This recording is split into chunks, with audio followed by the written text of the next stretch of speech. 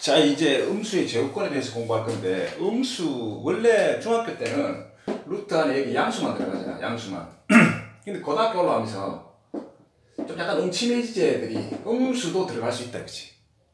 음수 음지로 들어간다는 거지.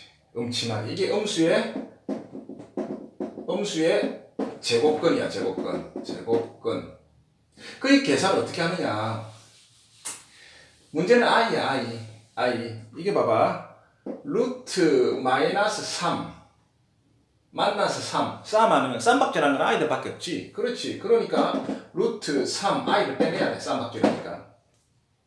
즉 i의 정체는 만나서 내놓은 놈이잖아. 그래서 가둬 놓는 거야. 이게 i의 정체야 i의 정체는 루트 마이너스 1 네?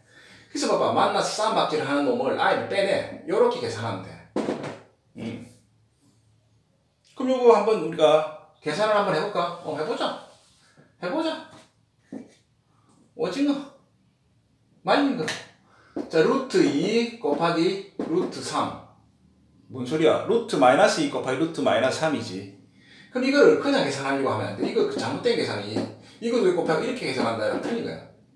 이게 루트 2에서 마이너스를 i를 끄집어내고 또 루트 3에서 마이너스 i를 끄집어내.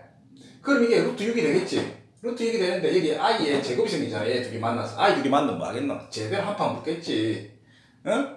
그래서 만나서 1 내잖아. 마이너스, 마이너스, 마이너스, 마이너스 6. 이렇게 답이 나는 거지.